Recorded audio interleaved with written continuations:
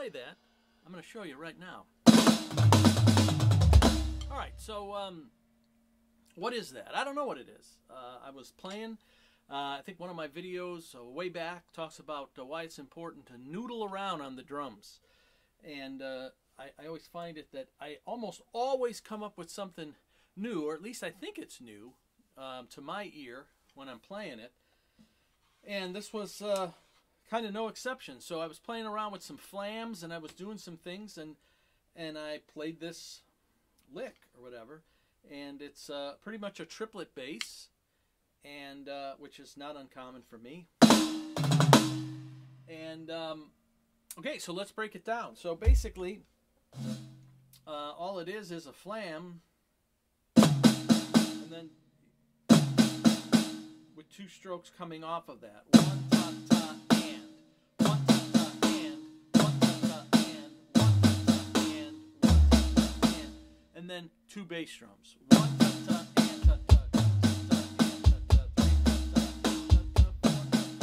ta ta one.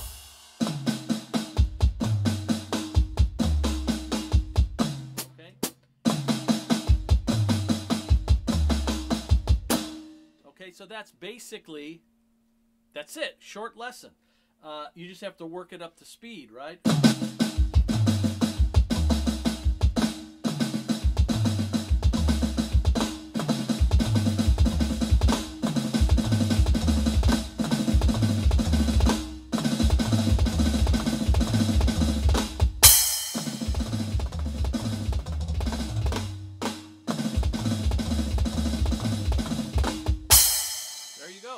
What it is, but it sounds cool. It's a triplet with a flam in front of it, with some different sticking. That's basically it.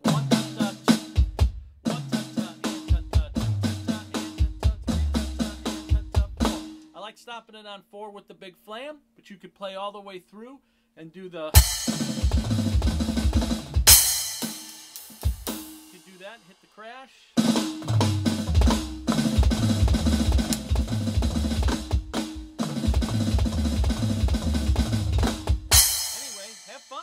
Seems like a pretty cool fill. I like it.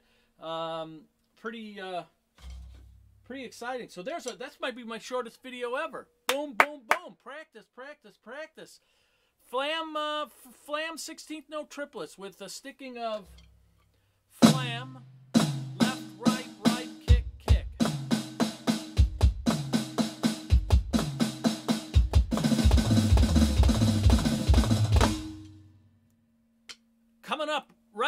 this, Eulogy by Tool.